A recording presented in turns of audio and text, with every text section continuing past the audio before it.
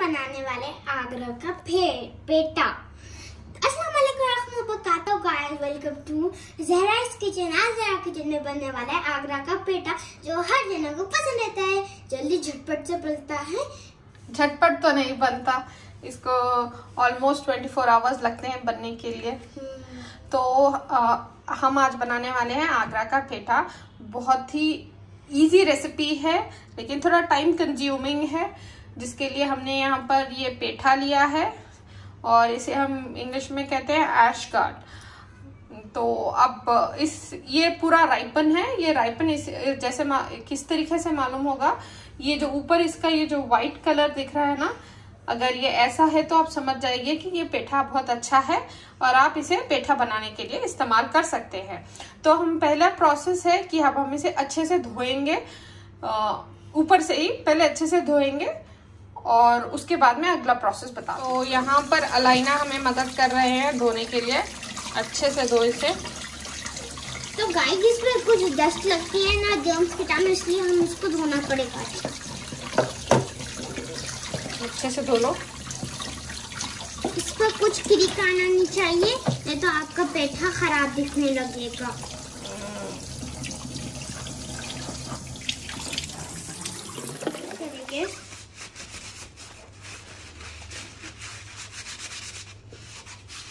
अच्छे से धो लीजिए आपका पेटा हमेशा अच्छा बनेगा। हमारे और हमको ट्राई करके कैसा बोलिए कैसा लगा आपको ये पेटा पेटा सॉरी चलो अभी हम इसकी कटिंग करते हैं। बिल्कुल साइडों में पोच पाइप कर लेंगे। ड्राई रहना चाहिए गाइस एकदम। आप टिश्यू पेपर से कुछ क्लोथ से कर सकते हैं। अब हम काटे के पेठा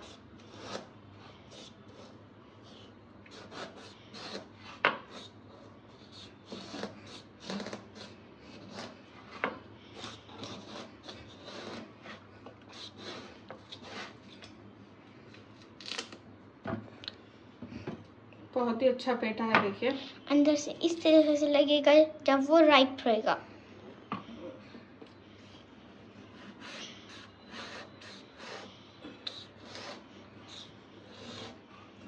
किस किस को पेटा पसंद है वो लाइक कर दीजिए। और कमेंट्स में ज़रूर लिखिएगा आप सबको पेटा पसंद नहीं। हाँ हमको तो बहुत पसंद है।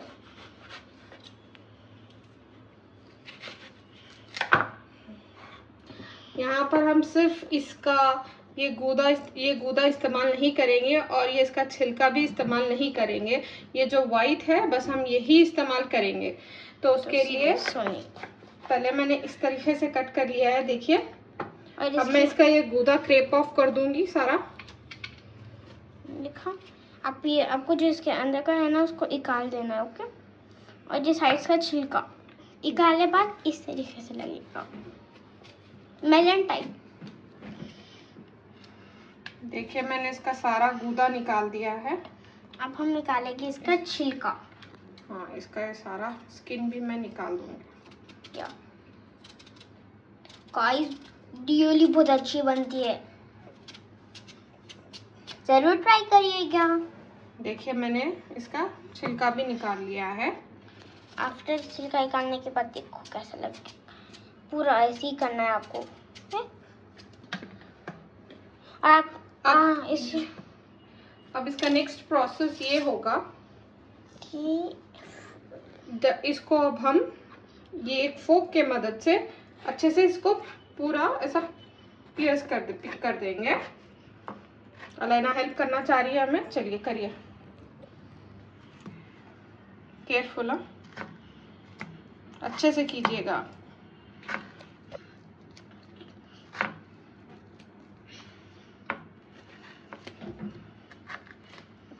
पलटा दो और इस तरीके से इधर से भी करो।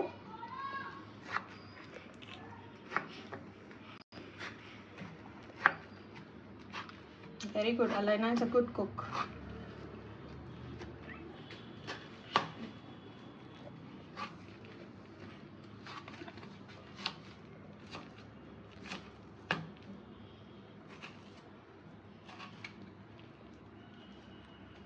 तो गाइस से जब आप इसमें होल्ड कर देंगे अब नेक्स्ट इसे भी करिए।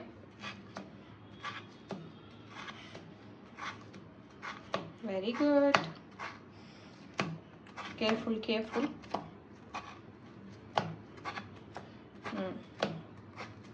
Alaina हमेशा मेरा हर काम में मदद करती है। उसे ब्लॉगिंग का बहुत शौक है हमारी अलाइना को। तो गाइस नेक्स्ट मंथ से मैं भी एक चैनल खोलूँगी। हम्म, तो आप उसको भी देखना है लाइक शेयर कमेंट ज़रूर करना है। वो वो चैनल में मेरे भाई बहन और पूरे फैमिली आएगी बट हमारी आवाज़ आएगी हम लोग दिखेंगे नहीं। हम्म, कोई बात। आप ये इस चैनल को भी आप हमारे सपोर्ट कीजिएगा। हम्म। हम बहुत मुंतजर हैं आप सबके सपोर्ट के।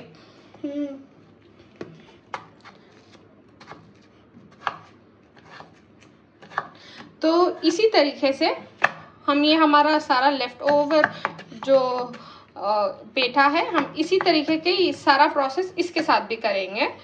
और उसके बाद हम ये ये जो है ना, एक बॉल में पानी ले लिया है। अब हम इसे पानी में डाल देंगे। जब तक मैं सारा मेरा फिनिश ना कर दूँ तब तक ये सारी चीज़ें ये बॉल में रहेगा। तो तो चलते हैं आ, तो फिर मिलते हैं ये सारी चीज़ें। बाद। इसी तरह ये प्रोसेस करने के बाद ठीक है? देखिए अब हमारी ये सारी कटिंग हो गई है। अब हम इसे ये पानी को ड्रेन कर देंगे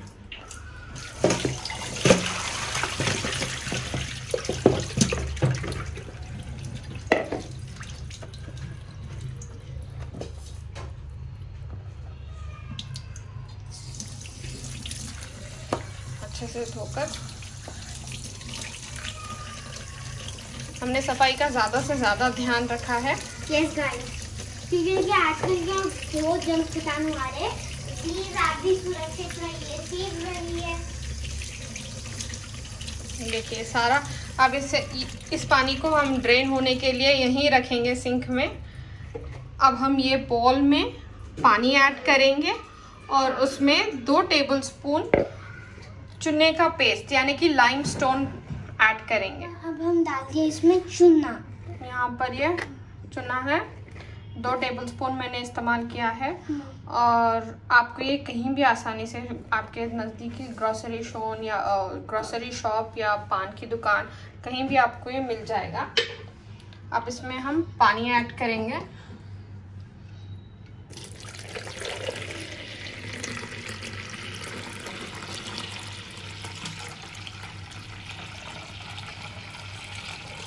बस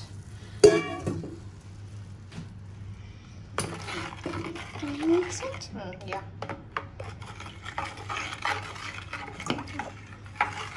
तो गाइस अब हम इसे अच्छे से मिक्स कर लेंगे Drain हो हमारे जो पेठे हैं सारे ड्रेन हो गए। हैं इस देखिए हमने इस तरीके से इसको यहाँ पर प्रेस कराया है। इसका ये वजह है क्यों? क्योंकि इसमें हम क्या शीरा शीरा। शीरा जाने के लिए डाल करें हाँ। जो कि जूसी बनता है।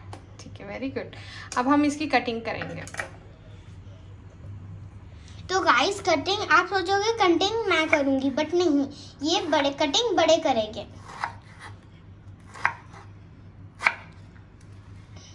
देखिए। इसे एक हिस्से कट करिए आप। Two inch? Two two inch का? या फ़र्क रहना चाहिए हर चीज़ में। देखिए।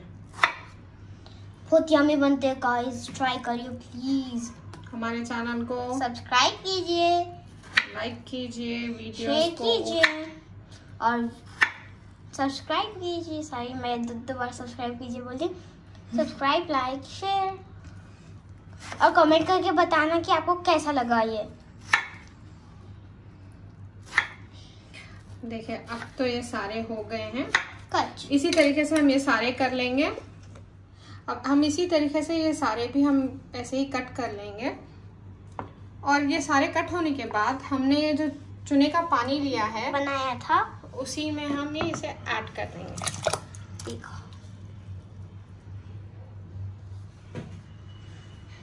चुने के पानी देखिए यहाँ पर मैंने इसे चुने के पानी में डाल दिया है और हम इसे 10 से 12 घंटे ओ, ओ या ओवरनाइट इसे इसी तरीके से भिगो कर रखेंगे और उसके बाद हम उसका दूसरा प्रोसेस करेंगे। हमने इसे आठ से दस घंटे भीगने रखा था चुनी के पानी में देखिए। ये कितने अच्छे तरीके से वाइट वाइट हो गए हैं। अब मैं इसे सारा ड्रेन करूँगी और अच्छे से वॉश करूँगी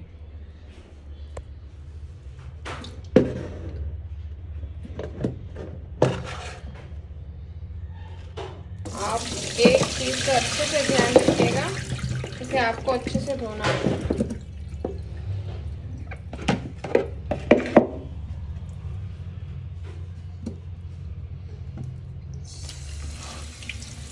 आप धोते समय इसे ना इस तरीके से स्क्वीज करिए, सारा चुन्ने का पानी निकल जाएगा।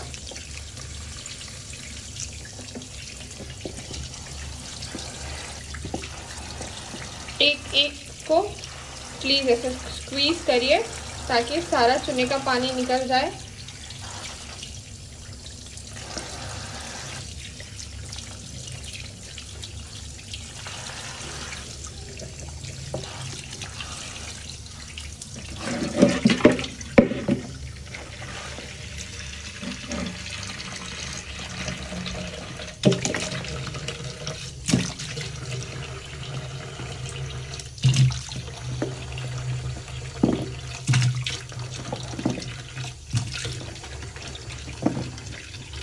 हाफ़ हाफ़ क्वांटिटी में करके धोंगी इसे।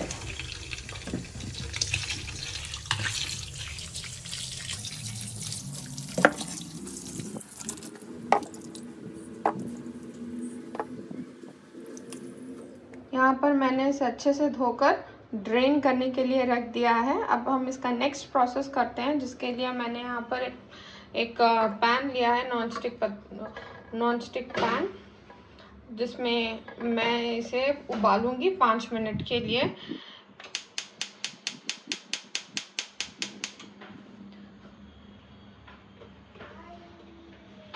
इसमें मैं पहले ही गर्म पानी डाल दूँगी। इससे कुकिंग प्रोसेस जल्दी हो जाएगा हमारा। हमें इसे सिर्फ़ पाँच मिनट के लिए पकाना है।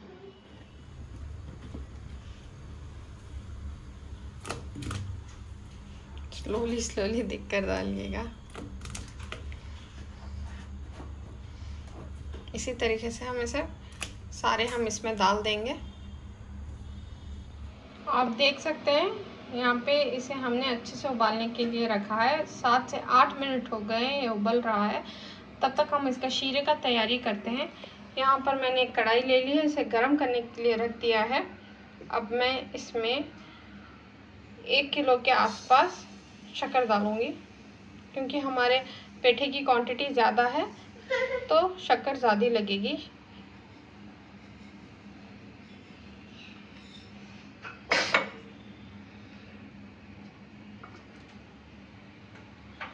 और उसमें मैं दो ग्लास पानी ऐड करूँगी।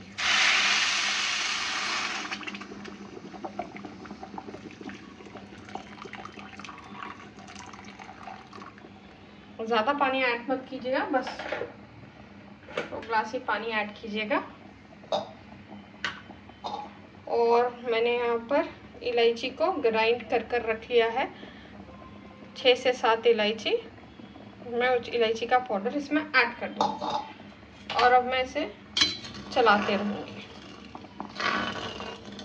देखिए कितना अच्छा उबाल आ रहा है यहाँ पर।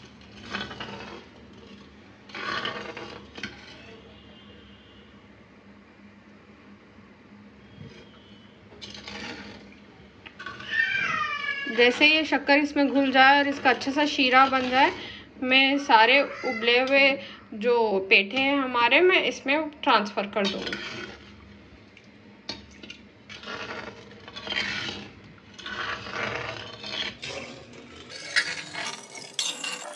आप यहाँ पे देख सकते हैं, हमारी चाशनी तैयार हो गई है। आप इसकी कंसिस्टेंसी देखिए, कितनी पतली है। अब इसी में अब हमारा ये फ़र्स्ट बैच हम इसमें डाल देंगे और इसे, इस चाशनी में तब तक पकाएँगे, तब तक ये चाशनी गाढ़ी ना हो जाए।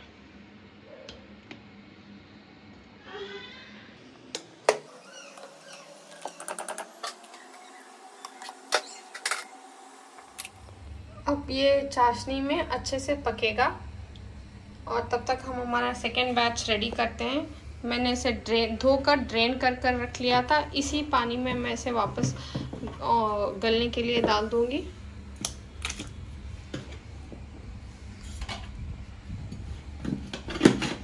मैं यहाँ पर दो किस्म के पेठे बना रही हूँ। एक जो बेसिक है वाइट कलर का, और दूसरा ज़ाफ़रानी पेठा।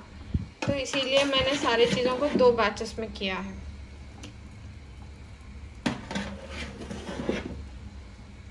हर चीज़ जो हम बनाते हैं, उसके पीछे काफ़ी मेहनत लगती है।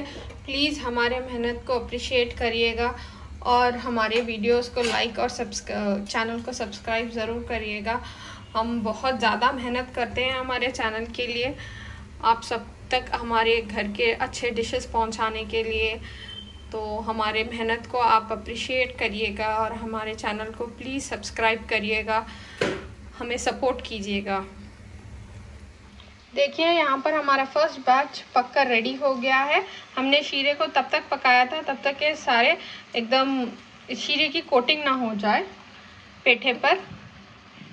ये फ़र्स्ट बैच जो बेसिक पेठा है, वो रेडी है। अब हम सेकेंड बैच रेडी कर रहे हैं। इसी में मैं तीन कप आस के आसपास शक्कर डाल रही हूँ। और उसमें मैं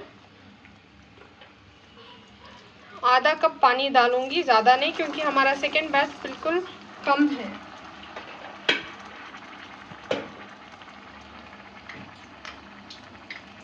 और अब मैं उसमें ज़ाफ़रान डालूँगी।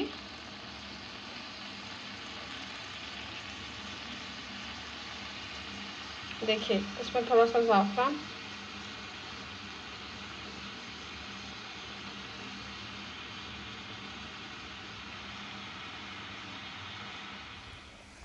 इसमें थोड़ा सा येलो फ़ूड कलर भी ऐड करूँगी।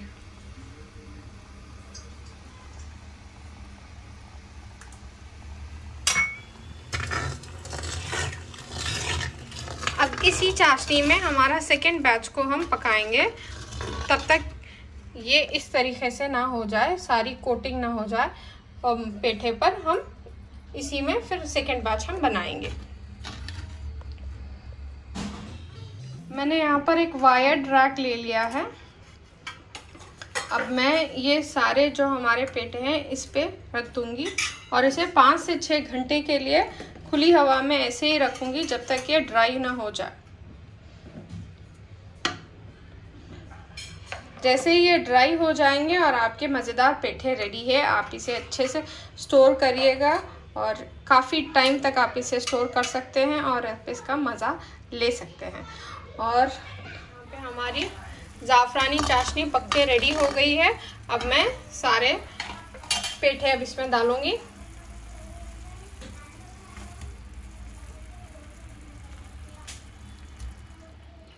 अब मैं इसे पाँच से छः घंटे के लिए ऐसे ही रखूँगी।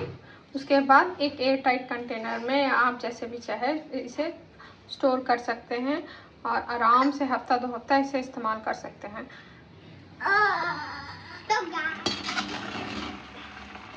देखिए, यहाँ पर ये पेठा ज़ाफ़रानी पेठा भी बनकर रेडी हो गया है। इसकी, इसे हम शीरे में ही रखेंगे। इतना शीरा रखना चाहिए, देखिए। ज़्यादा, उतना ज़्यादा नहीं और उतना कम नहीं। बस मीडियम शीरा रखना चाहिए। इस, इसकी कंसिस्टेंसी कुछ इस तरीके से रहना चाहिए। देखिए, मैं आपको कंसिस्टेंसी भी बता दूँगी।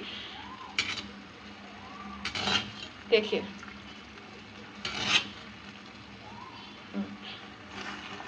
तो हमारे पेठे पक्का रेडी हो गए हैं। मैं एक बार स्टर मिक्स कर लूँगी अच्छे से और उसके बाद गैस ऑफ़ कर दूँगी।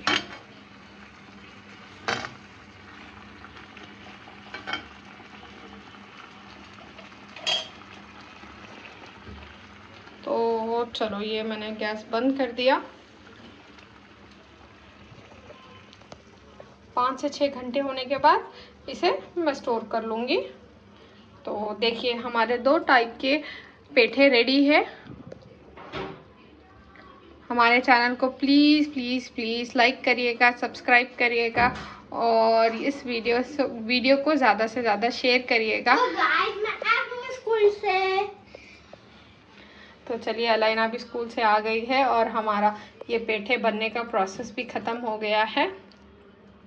तो मिलते हैं अगले वीडियो तक। अगले वीडियो में कुछ नए रेसिपीज़ के साथ। और तब तक के लिए अल्लाह हाफिज़। आप सब अपना ख्याल रखिएगा, हमें दुआओं में याद रखिएगा। अल्लाह हाफिज़।